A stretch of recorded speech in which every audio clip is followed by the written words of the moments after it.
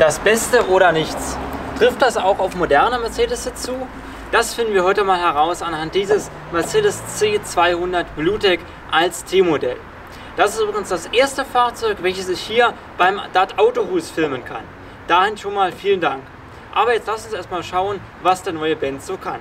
Die aktuelle C-Klasse der Generation W205 wird seit 2014 angeboten. Es gibt sie wie immer als Limousine, als T-Modell, als Coupé sowie als Cabrio. In diesem Jahr steht dann das erste große Facelift für die Mercedes C-Klasse an. Im Design ist die neue C-Klasse ein großer Schritt zu einem jüngeren Markendesign. Wir haben hier die AMG-Line, die natürlich nochmal deutlich auffällt durch diese großen Lufteinlässe hier, die aber nicht wirklich offen sind. Das sind zum großen Teil Fake-Blenden, aber es sieht ganz cool aus. Wir haben zudem auch schöne Scheinwerfer. Wir haben hier auch die Version mit LED und sogar dem ILS-Lichtsystem. Wir haben also verschiedene Lichtoptiken für Landstraße, für Autobahn und dergleichen. Auch die Seitenansicht der C-Klasse wirkt richtig modern. Wir haben hier diese beiden gegensätzlichen Linien, diese eine abfallende Linie und diese ansteigende Linie hier unten. Das wirkt nochmal richtig modern und richtig cool, gerade beim T-Modell. Wir haben das T-Modell übrigens hier in Polarweiß. Polarweiß ist neben Schwarz Uni ebenfalls aufpreisfrei zu haben. Auf der Basisausstattung der C-Klasse bauen übrigens die drei Linien einmal Avantgarde, Exklusiv und die AMG-Line auf. Hier am Heck fallen natürlich sofort diese beiden Endrohre auf hier unten, die schön in Chrom ausgeführt sind und natürlich von der AMG-Line stammen. Leider sind das aber nur Attrappen und keine echten Endrohre. Keine Attrappen sind aber diese schönen Rückleuchten hier. Die sind zweiteilig, einmal außen, einmal in der Heckklappe und werden in der Mitte durch diese schöne Chromleiste verbunden. Die C-Klasse gibt es mit Benzinmotoren von 129 PS bis hoch zu 510 PS, das natürlich dann im C63S AMG. Bei den Dieseln ist die Spanne etwas kürzer, da reicht die von 116 PS bis zu 245 PS, das ist dann die Systemleistung des 300H. Unter unserer Haube hier schlägt aber ein französisches Herz, denn dieser Dieselmotor hier, der C200 Bluetech, ist ein Renault-Triebwerk. Das soll der Sache erstmal keinen Abbruch tun. Ihr findet den Motor aktuell im Konfigurator als 200D. Der Motor hier ist übrigens ein leichter Etikettenschwindel. Wir haben natürlich keinen 2 Liter, wie die Modellebezeichnung vermuten mag, sondern wir haben einen 1,6 Liter Dieselmotor. Das ist aber nur so, wenn ihr, wie in diesem Fall, das 6-Gang-Schaltgetriebe habt. Wenn ihr die Automatik wählt, die 9-Gang-Automatik, dann habt ihr einen größeren 2,2 Liter Dieselmotor. Aber los geht's zu den Daten des Motors. Wir haben ein maximales Drehmoment von 300 Newtonmeter. Dieses wird in unserem Fall komplett an die Hinterräder geschickt. Ihr erreicht die Grenze von 100 km/h nach 10,1 Sekunden und die maximale Geschwindigkeit ist bei 214 km/h erreicht. Laut Werksangabe soll sich der Motor dabei nur 4,4 Liter auf 100 Kilometer genehmigen und stößt damit 111 Gramm pro Kilometer CO2 aus. Natürlich erfüllt der Motor die Euro 6 Abgasnorm.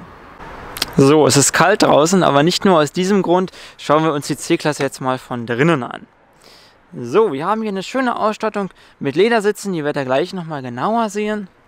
Aber wir steigen jetzt erstmal ein. Man steigt ein bisschen ab in die C-Klasse. Klar, wir haben einen Kombi, kein SUV. Die Tür, ja, da muss man sich schon ein bisschen rauslehnen. Aber die ist ganz leicht zu schließen, ist sogar leichter als gedacht, die Tür. Ich freue mich heute besonders, denn einen modernen Mercedes konnte ich euch in einem Review bisher überhaupt noch nicht zeigen. So, das ist die neue C-Klasse oder die aktuelle C-Klasse. Klar, die ist schon knappe vier Jahre bald auf dem Markt. Wir haben aber immer noch eine sehr schöne Qualität im Innenraum. Ähm, ihr seht das gleich nochmal genauer, wenn ich euch mit in den Innenraum nehme. Von der Seite seht ihr aber schon mal diese großen Klavierlackblenden hier in der Mitte. Die ziehen natürlich so ein bisschen die Fingerabdrücke an, sehen aber sehr schön aus. Wir haben ja hier das Schaltgetriebe, was natürlich relativ selten ist in einem Mercedes. Daher ist der Mercedes oder der Innenraum des Mercedes auch eher auf ein Automatikgetriebe ausgelegt. Denn wenn ihr nämlich die Automatik habt, habt ihr natürlich hier den Wählhebel am Lenkrad. Dadurch habt ihr dann auch eine längere Mittelkonsole. Die Mittelkonsole ist dann nämlich von hier oben bis hier unten ein komplettes Stück und ist ganz schwungvoll eingebaut. Ist natürlich hier nicht der Fall. Trotzdem, Oberflächenqualität ist sehr gut. Wir haben hier schöne ähm, Edelstahlblenden ja, das wird Kunststoff sein, aber es sieht schön aus auf jeden Fall.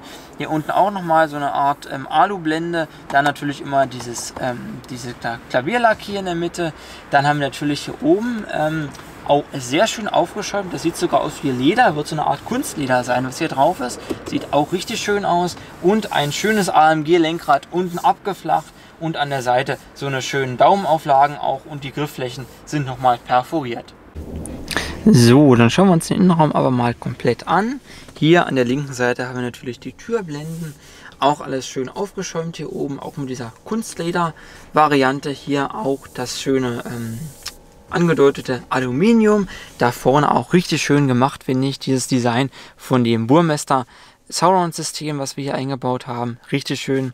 Wir haben in der Seite hier auch die Sitzheizung eingebaut. Die ist nicht wie bei anderen Fahrzeugen in der Klimatronik. Bei Mercedes ist die jetzt immer an der Türblende.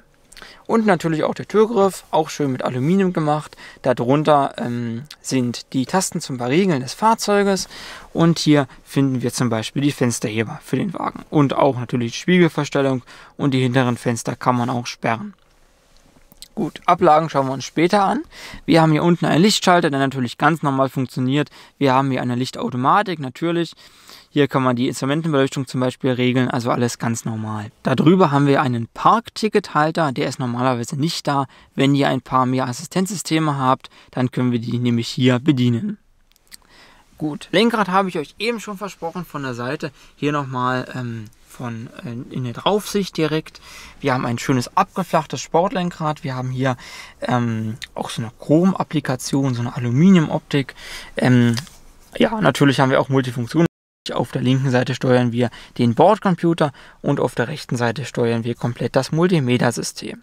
So, um euch ein paar Funktionen zeigen zu können, natürlich hier ist der Schlüssel. Das ist der ganz klassische Mercedes-Schlüssel, den habt ihr aber schon mal gesehen, zum Beispiel im Review zur, ähm, zur Mercedes SL, der sah ähnlich aus. So, wir treten natürlich die Kupplung, wir haben hier einen Schalter, dann einmal ins Zündschloss rein und einmal drehen. Wir fahren gleich fort natürlich einmal hier mit dem Kombi-Instrument. Auf der linken Seite haben wir äh, natürlich den Tacho, wie ihr ihn kennt, der ist bis 260. Im Tacho unten haben wir so eine kleine Leuchtdiodenanzeige für den Tankinhalt. Auf der rechten Seite haben wir den Drehzahlmesser, der geht bis 6000 Touren, bei knappen 5000 fängt der rote Bereich an. Darunter haben wir die Anzeige für die Kühlwassertemperatur. In der Mitte haben wir ein großes Display, das ist ja quasi hochkant, das ist so groß wie ein Handy-Display oder na, vielleicht ein bisschen kleiner, ist aber schon ganz schön gemacht. Können wir wie gesagt bedienen mit der linken Seite des ähm, Multifunktionslenkrades. Ähm, da können wir zum Beispiel einmal hier ins Menü gehen, da können wir hier Reisedaten abrufen, wir können das Navi abrufen, wir können uns anschauen, welchen Radiosender er drin hat, wir können Medien darüber steuern und wir können das Telefon steuern. Wir haben eine Assistenzgrafik für die Assistenzsysteme und wir haben die Serviceanzeige, natürlich auch die Einstellungen. Das kann man alles hierüber machen. Ich gehe mal beispielhaft hier in Reise rein. Reise beinhaltet zum Beispiel hier ähm, wie ich eben schon mal eine Anzeige hatte, die ähm, gefahrene Geschwindigkeit. Wir können einmal runtertippen, da haben wir den Gesamtkilometerstand von 181.000 Kilometern. Habt ihr das geglaubt, wo ihr den Innenraum gesehen habt? Ich zeige euch gleich nochmal genauer. Ich habe es nicht geglaubt. Ähm, natürlich hier die Reichweitenanzeige mit so einer ja, Ökobilanz drunter. Ähm, hier auch nochmal so eine Eco-Anzeige, kriegt man so quasi Bonuskilometer, ähm, wenn man eben äh, spritsparend fährt und alles weitere noch hier äh, als Bordcomputer. Genauso eben auch hier die Navi-Ansicht, da haben wir jetzt bisher ähm, nur so eine Art Kompass drin. Wir fahren Richtung Nordwesten, wenn wir geradeaus fahren würden. Ist aber jetzt nichts Besonderes, da zeigt er euch natürlich noch Pfeile an oder dergleichen. Gut, Radio, welchen Radiosender haben wir drin? Das können wir hier rüber, hier rüber einmal abrufen. Genau, hier können wir auch einen anderen Radiosender wählen. Gut, dann gehen wir wieder ins Menü und alles weitere. Ihr kennt es, Medien zum Beispiel, Telefon. Assistenzgrafik interessiert mich selbst mal. Aha, okay, das ist quasi dieser Lane Assist. Hier ist so ein Attention Assist, genau, das ist ja der Müdigkeitswarner. Okay, gut.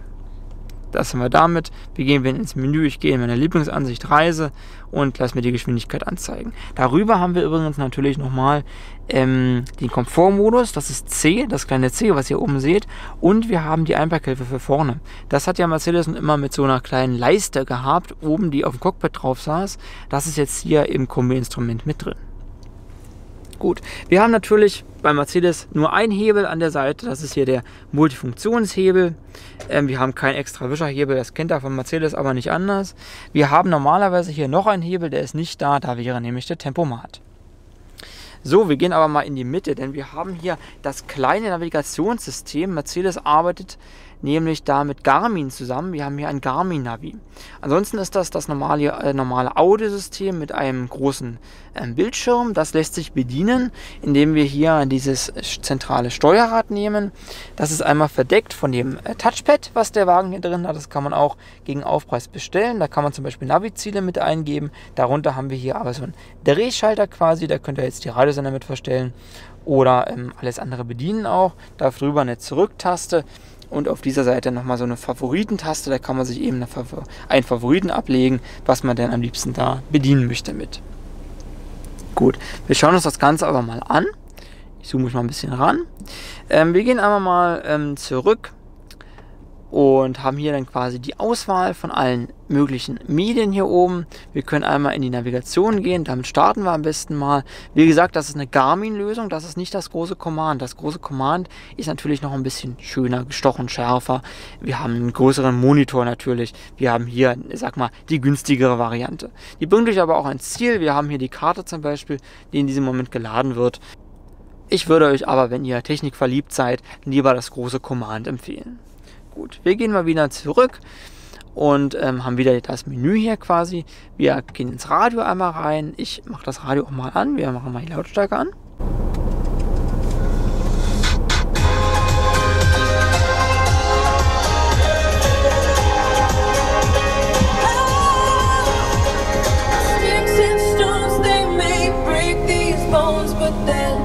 I'll be ready.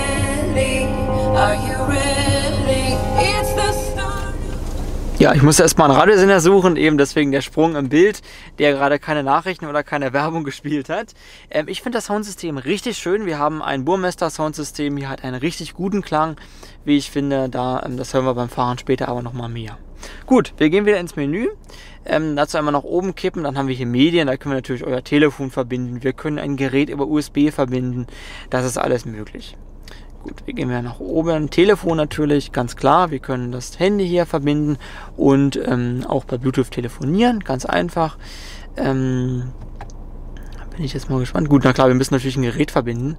Sonst könnte man natürlich hier auch eine Nummer eingeben, zum Beispiel über das Touchpad. Das seht ihr hier an dieser Seite. So, gut. Wir gehen in die Fahrzeugeinstellungen. Da kann man hier eine Menge einstellen. Ähm, wir können zum Beispiel anfangen mit Agility Select. Das ist der ähm, quasi der Fahrmodi-Schalter in diesem Fahrzeug. Wir haben hier aktuell den Komfortmodus, habt ihr auch eben im Kombi-Instrument schon gesehen. Wir können hier den Motor hier auf Komfort stellen, wir haben die Lenkung auf Komfort, wir haben das Start-Stopp-System haben wir angestellt und die Klimaautomatik haben wir im Komfortmodus. Wir können aber alles anders hier auch wählen. Da haben wir hier so einen kleinen Schalter, den seht ihr gleich noch. Da können wir hier zwischen ähm, Komfort, ähm, Eco zum Beispiel wir können dann hochtippen, dann haben wir den im Sportmodus, den Wagen. Und wir haben dann natürlich nochmal den Sport Plus Modus. Ja, das muss man beim Fahren ausprobieren, was dann da am liebsten ist. Ich denke mal, zum Benz passt ganz gut Komfort. Gut, das war es vom System. Das ist natürlich nur eine kleine Ansicht vom System. Ähm, das System hat natürlich noch eine Menge mehr zu bieten. Ähm, ich würde aber trotzdem äh, das größere Command nehmen wahrscheinlich. Aber macht sich auch ganz gut hier das kleine. Gut, darunter haben wir drei Lüftungsdüsen. Ähm, die sind schön gemacht, so ein bisschen im Turbinendesign. Ähm, lassen sich hier öffnen und schließen mit diesem Dreh hier dran. Wir können hier alles verstellen, das ist wirklich sehr schön gemacht und klickt auch sehr satt ein. Also Qualität ist wirklich sehr schön hier. Darunter kann man die äh, Klimaautomatik natürlich bedienen mit dieser Schalterleiste hier. Das sind alles so eine kleinen Kippschalter, die auch schön ähm, geriffelt sind, hier nochmal richtig schön aussehen. Ähm, ja, das finde ich wirklich schön, muss ich sagen. Ähm, wir haben keine normale Einstellung wie bei anderen Fahrzeugen mit Drehreglern, sondern hier mit diesen Reglern. Wir können zum Beispiel die Temperatur regeln. Das seht ihr dann auch alles hier oben im Navi-Display. Da ist eine kleine Leiste dafür gedacht. Ähm, und wir haben ja auch das komplette Klimamenü. Da können wir hier reingehen. Da sehen wir das Ganze auch nochmal hier im äh, Navi-Display. Gut. Darunter haben wir dann natürlich nochmal die Einheit fürs Navi-System oder besser gesagt die Steuerung. Da können wir hier die Quellen nochmal direkt anwählen. Wenn wir ins Radio wollen, können wir hier nochmal anwählen. Wir haben hier oben den CD-Schacht einmal. Wir haben den ähm, Beifahrer-Airbag, der ist gerade ausgeschaltet, diese Warnlampe dafür. Und natürlich hier nochmal die Warnblinkanlage. Die ist ziemlich versteckt, finde ich. Das ist ziemlich ähm, unten in der Ecke hier, wenn man ähm, natürlich schnell fährt auf der Autobahn, es kommt ein Stau, man möchte die anderen warnen. Da ist natürlich besser, wenn man direkt in der Mitte hier hat. Ist hier nicht drin, wir haben die hier unten. Aber ich denke mal, wenn man den Wagen ein paar Monate fährt oder ein paar Wochen schon, da gewöhnt man sich ganz gut dran. Gut, hier vor dem Schalthebel haben wir ein Ablagefach. Ähm, das ist kein Aschenbecher zum Glück. Wir haben hier daneben aber einen 12 Volt Anschluss. Ähm, da können wir die mobilen Geräte zum Beispiel mal laden. Gut, wir haben hier ähm, das Schaltgetriebe, natürlich, ein 6-Gang-Schaltgetriebe. Ähm, ich habe euch ja schon gesagt, normalerweise würde das Ganze ein bisschen anders aussehen in der Mittelkonsole, wenn wir eine Automatik hätten. Wir haben hier aber einen Schalter. So, ich schalte hier mal durch. Wir haben sechs Gänge, die sich auch ganz gut schalten lassen. Mehr werde ich dazu mal beim Fahreindruck sagen. Der Rückwärtsgang ist ganz links auf der nächsten Welle und einmal nach oben. So, Daneben haben wir hier noch verschiedene Tasten. Das ist hier einmal die Lautstärke fürs Audiosystem. Wir haben hier, ähm, kann man das Audiosystem auch einschalten mit dieser On-Taste hier drunter. Dann haben wir hier den Start-Stop-Button, das können wir hier drüber ausschalten. Wir haben hier drüben Agility Select, das ist dieser Fahrmodi-Schalter, diese VIP-Schalter quasi. Und darunter können wir auch nochmal ähm, die Einparkhilfe ausschalten. Gott. Ansonsten haben wir hier natürlich die Bedienmöglichkeit fürs Navi-System, habe ich euch schon mal gezeigt, mit dem Touchpad darüber. Ähm, daneben haben wir einmal äh, mein Handy drin, das nehme ich mal raus. Ähm, da haben wir hier also mal einen Cup-Holder, den ähm, hat der hat auch Abstandshalter hier, das suche ich natürlich mal wieder aus. Wir haben hier diese kleine Flasche wieder, die passt hier sehr gut rein. Ich denke mal, da passt auch eine größere Flasche noch rein. Gott. So, dann haben wir hier in der Mitte hier die Armlehne, die relativ breit ist. Da ist für beide äh, Mitfahrer genug Platz. Ähm, die ist hier auch nochmal hm, zu öffnen. Da haben wir hier ein großes Ablagefach, was auch schön mit Filz ausgekleidet ist. Genau. Und darüber haben wir so ein, auch so eine Art Kunstleder. So, zu den Sitzen natürlich nochmal ein paar Worte. Ähm, wir haben hier äh, schöne sportliche Sitze, die aus der AMG leihen. Wir haben hier verstärkte Seitenwangen, das finde ich sehr schön. Die sitzen sich also richtig gut. Wir haben auch, was ich unbedingt immer haben möchte, eine ausziehbare Oberschenkelauflage. Das finde ich ähm, nochmal richtig schön. Gut. Türblende, wir schauen uns mal die Fächer an natürlich nehme ich mal die Flasche wieder zur Hilfe hier. Das passt hier so rein. Ich habe da meine Notizen dahinter reingepackt. Und hier die Flasche, die ist sogar ein bisschen verloren da drin. Da kann man, denke ich mal, auch noch eine gut eine größere Flasche unterbringen. Auf der linken Seite sieht das natürlich genauso aus. Da ist die aktuell drin. Ja, und alles ist auch ganz gut gummiert hier unten. Und hier ist nochmal so ein bisschen Filz dran. Also da klappert auch nicht viel rum. So, gut, wir schauen mal hier oben, da ist so weiter erstmal nichts. Wir haben aber natürlich einen Innenspiegel. Dieser ist bei uns manuell abblendbar. Ähm, darüber haben wir einen schönen schwarzen Dachhimmel. Das sieht richtig schön aus, wie ich finde. Natürlich, die AMG-Leinen merkt man da wieder. Wir haben hier die ähm, Innenbeleuchtung, auch alles schön mit LEDs ausgeführt. Ich mache die mal an, dann seht ihr das alles. Genau, schöne warmweiße LEDs drin. Das lässt sich hier oben alles steuern. Wir haben zusätzlich auch nochmal so eine Art SOS-Knopf. Darunter haben wir hier ein Sonnenbrillenfach, auch schön, ähm, schön mit Filz ausgekleidet. Ich, das finde ich immer wichtig, dass man so eine ähm, geeigneten Fächer dafür hat, sonst fliegt das ja alles im Auto rum und staubt ein. So, dann haben wir hier die Sonnenblende natürlich. Wir haben hier so, eine kleine, äh, so einen kleinen Tickethalter an der Seite dran. Wir haben hier ähm, dann noch, natürlich nochmal ähm, den Schminkspiegel, der hier auch mit einer LED oben beleuchtet ist. Wir haben in dieser C-Klasse hier auch nochmal eine richtig schöne rote Gurte. Das sieht richtig sportlich aus und passt sehr schön zur AMG-Line. Ihr bekommt die Kombi-Version der C-Klasse, also das Tiermodell, ab 33.000 Euro, wenn ihr den Wagen neu kaufen wollt. Dann hat das Auto drin natürlich ein Radiosystem mit Bildschirm und auch schon die Klimaautomatik. Welche Extras würde ich dann auf jeden Fall ankreuzen? Auf jeden Fall gehört in einem Mercedes für mich ein Tempomat. Der Tempomat kostet 321 Euro Aufpreis. Was auch noch sehr äh, wichtig ist und sehr praktisch ist, finde ich, das ist Agility Select. Das haben wir in diesem Fahrzeug ja drin. Das ist die Einstellung für den Motor, für ähm, die Lenkung zum Beispiel. Da kann man so ein bisschen spreizen, Komfort oder Sport zum Beispiel. Das kostet auch ganz günstige 119 Euro Aufpreis. Das macht natürlich auch noch mehr Sinn, wenn wir die Airmatic wählen. Es gibt in diesem Fahrzeug hier dank der modularen Hinterradantriebsarchitektur ein Airmatic-System. Das hat auch die E-Klasse zum Beispiel, also ein Luftfahrwerk. Auf jeden Fall habe ich mich verliebt in das gute Burmester Soundsystem. Das kostet auch relativ vertretbare 900 Euro ungefähr Aufpreis und geht in Ordnung, also bleibt unter 1000 Euro. Für den guten Klang würde ich das auf jeden Fall wählen. LED-Scheinwerfer kosten dann 1000 Euro Aufpreis. Ich würde aber eigentlich gleich das Intelligent Light System nehmen. Das kostet 1700 Euro. Und für die Optik noch was Schönes. Wir haben ja hier die AMG-Line. Ich finde, so sieht die C-Klasse einfach am besten aus. Das kostet aber ganze 2700 Euro Aufpreis. Das muss die Optik einem erstmal wert sein. Eine etwas kuriose Sache in der Aufpreisliste fand ich, denn es gibt die Distronic, also quasi der Abstandstempomat, den gibt es nur in Verbindung mit Automatik, den gibt es nicht in Verbindung mit dem Schaltgetriebe. Finde ich sehr schade. So, dann schauen wir doch mal, wie man in dem 4,70 Meter langen Kombi hinten sitzen kann. Wir öffnen mal die Türen. Das Einstiegsfenster ist nicht riesig, aber man kommt, denke ich mal, ganz gut rein. So, ja, die Rücksitzbank ist relativ tief. Aber wir können die Tür dann natürlich ganz simpel schließen. Gut, dann entdecken wir mal zusammen den Innenraum. Erstmal schauen wir uns mal hier die Platzverhältnisse an in dem 4,70 Meter langen Kombi. Und ich finde, das geht besser in Ordnung, als ich dachte. Ich dachte, da der, die C-Klasse ja eher so ein Lifestyle-Kombi ist, hat man hinten nicht ganz so viel Platz. Aber ich finde, das geht in Ordnung. Wir haben hier vor den Knien ungefähr noch ja, 15 cm Platz. Ich bin 1,80 Meter groß, habe den Beifahrersitz jetzt auf meine Größe justiert und ich finde, das geht in Ordnung. Wir können die, Schu die Schuhe hier oder die Füße hier drunter auch noch schön runterschieben und dann kann man hier wirklich schön sitzen. Gut.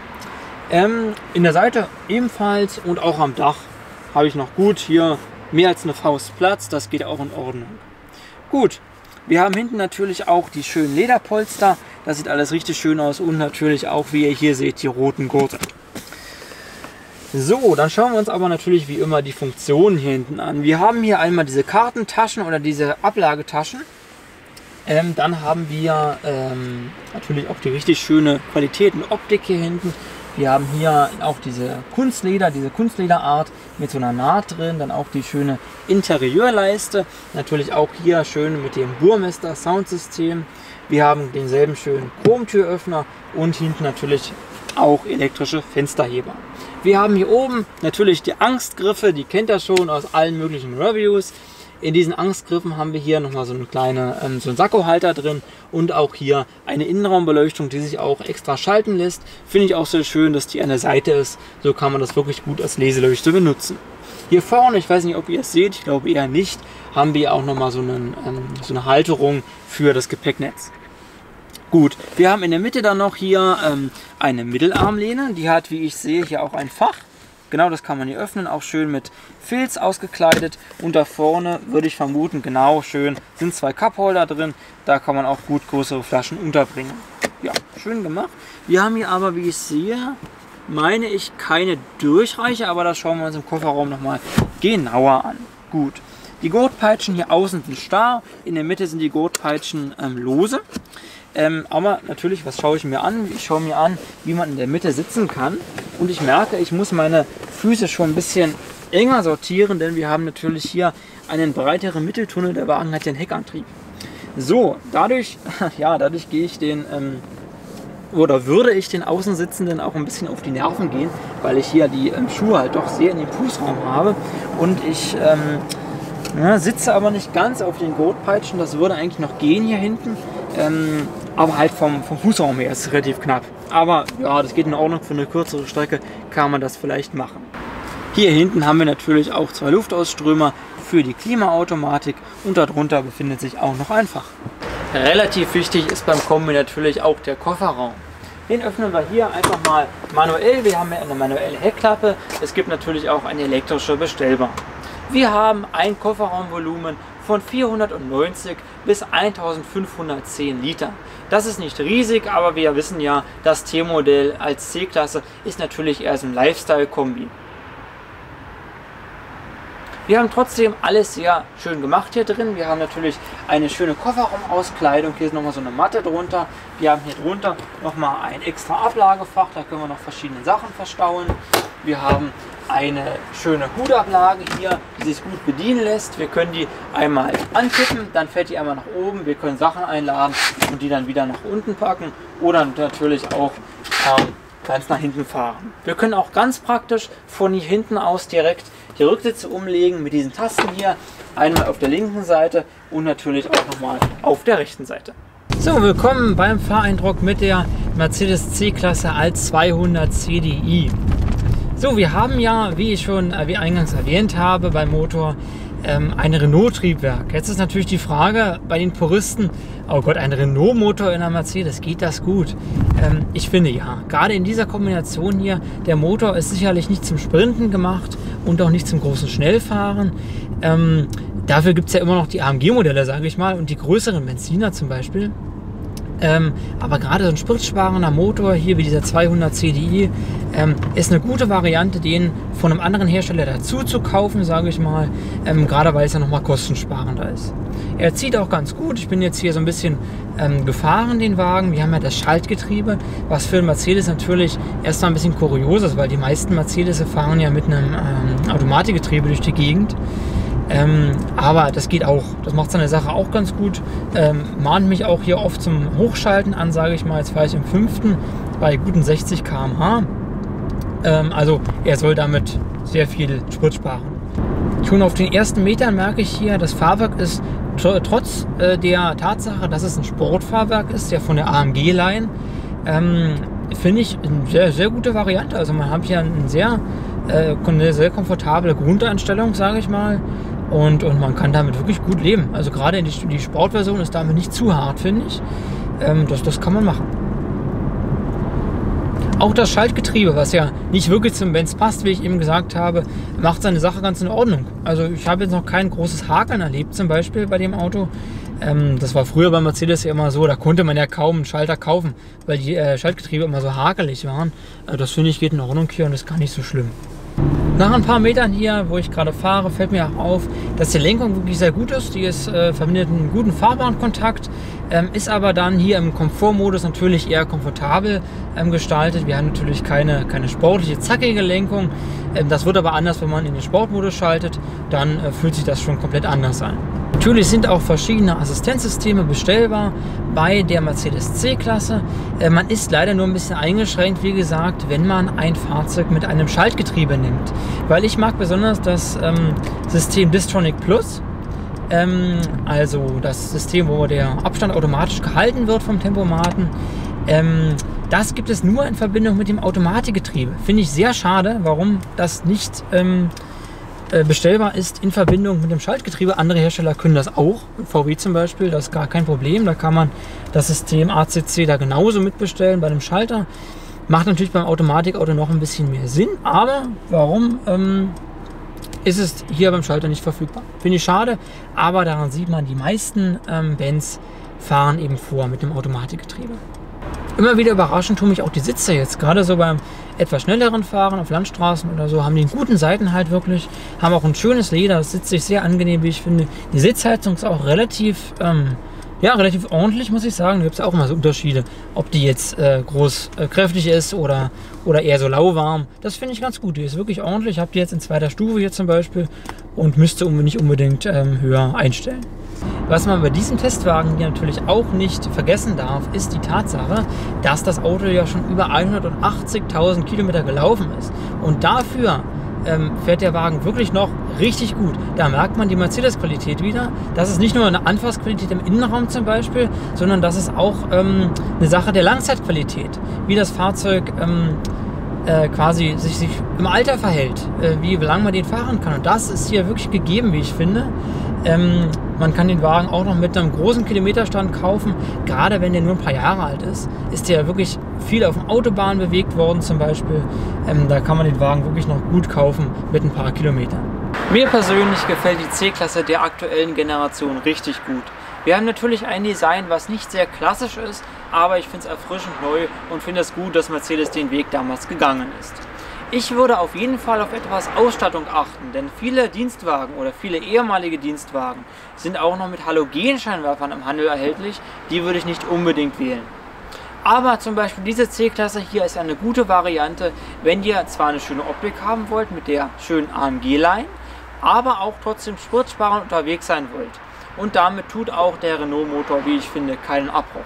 Dieses Auto hier steht, wie ich eingangs schon erwähnt habe, beim DAT Autohus in Berlin-Hoppegarten. Dahin schon mal einen vielen Dank für die große Unterstützung zum Filmen. Aber jetzt sagt mir mal, wie findet ihr die neue C-Klasse? Findet ihr die neuen Mercedes besser oder eher die klassischen?